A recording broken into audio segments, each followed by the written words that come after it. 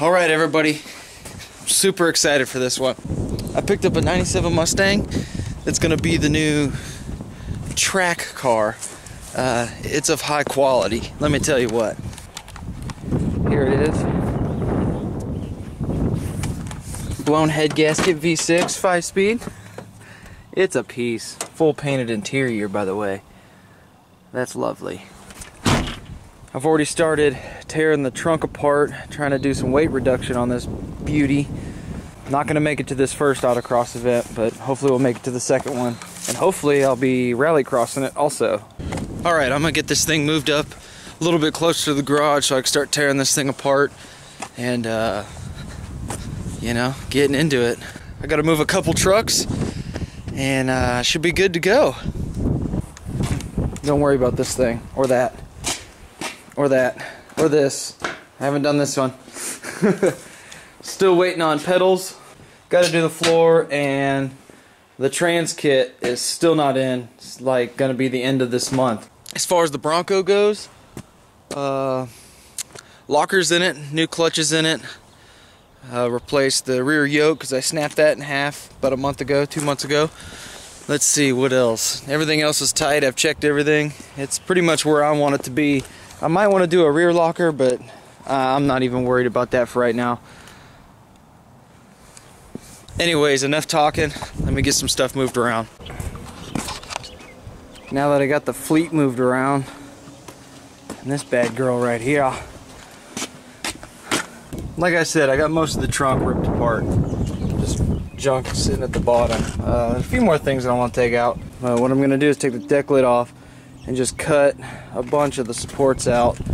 Hopefully lighten this thing up. Probably a bunch of the back area because this thing is this thing's pretty heavy actually. Next, what I want to do, I know it's fiberglass hood, but just drill a bunch of holes through the fiberglass and all these supports and stuff because I don't need it. And I'll probably take out the latch mechanism, put some hood pins in it, make it real, real redneck. I'm gonna eventually strip the entire interior, probably leave the dash in for now. Definitely gonna cut some of the doors out. I'm gonna leave the windows in it for now because like I said, it's gonna stay outside and I'm gonna try to at least keep it electrically not get wet. I don't really care about, you know, all the bare metal stuff. And eventually I'm gonna start prepping it for a cage because we're gonna be really stupid in this car, so I wanna be safe. Definitely race seats because these things are awful. Okay, one reason why I'm really excited about this car is because I want to turbo it. I've never done a turbo and I have no idea really how all that tuning stuff goes, but I have I have the basics down of, of how the turbo setup works and everything. So I figure why mess up a good car and waste a lot of money when I can spend time on a really crappy car and then buy the cheapest eBay turbo kit I can. that seems like the only logical way to learn. So yeah, that's one reason why I'm actually really excited about this car.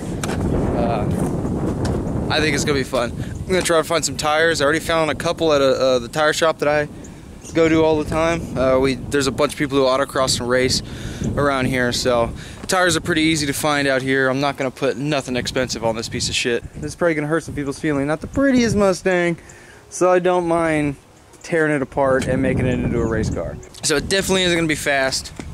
Uh, it's not gonna be pretty. Def that's that's probably at the top. Not pretty, not fast, but hopefully a whole lot of fun. That's that's my main goal is a whole lot of fun packed into a, a $500 car.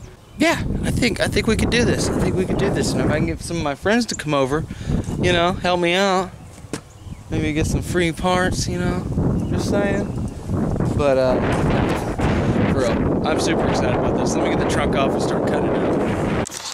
Ah, don't record me yet.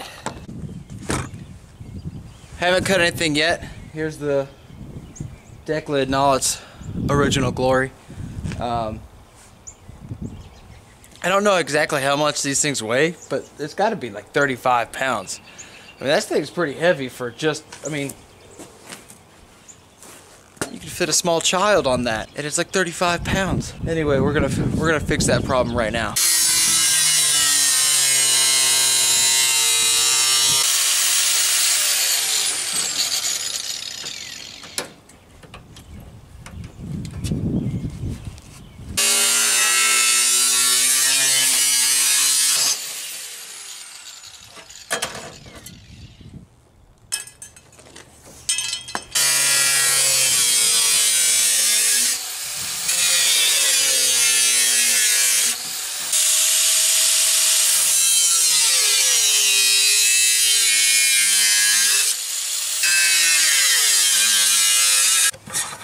Okay, so real quick before the sun goes all the way down, kind of crudely cut the center out. Uh, it's a little floppy, but it doesn't really matter.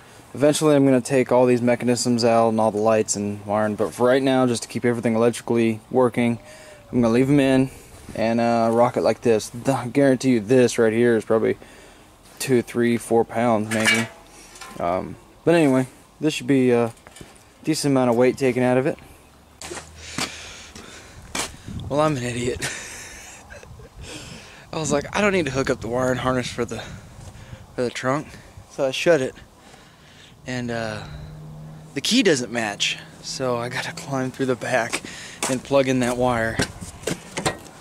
This will be fun. Oh, oh, and of course, oh, there we go. Oh, you come, you come here. Oh, and of course the seat doesn't fold forward.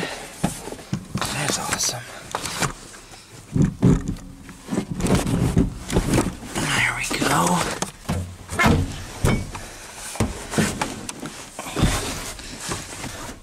Four-seater car, my ass. Oh, here we go. We're in the cave now. There you are, little buddy. Let me plug you right back in. See you guys in a second.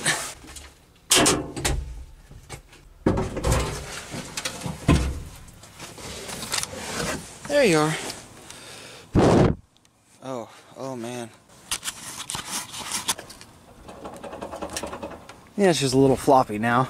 That doesn't really matter. I, you know, I did some preventative rust prevention. I don't know. That's that's a double. That's a doubling up of that word. I don't like that. Man, that thing's heavy. All right, so I got the hood off now. About to cut that thing up.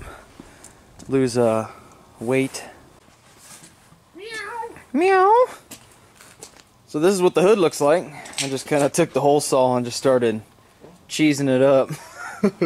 oh, that's a beer in your hand. Oh, that's a beer in your hand. But uh, yeah, I don't know. I'm not counting all those holes. Bunch of them. Couple in the front. Yeah. Anyway, it's dark now, so I'm probably done for the day on the Mustang. Gonna work on this. Okay, guys, that's gonna be it for this one.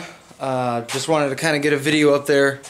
Not much that I did. I'm gonna go ahead and knock out the head gasket on it, get it all running good, and then we're gonna get a baseline test of. My plans are to do a drag race with it to see what it does in the eighth mile. Well, that's the track that we have up here.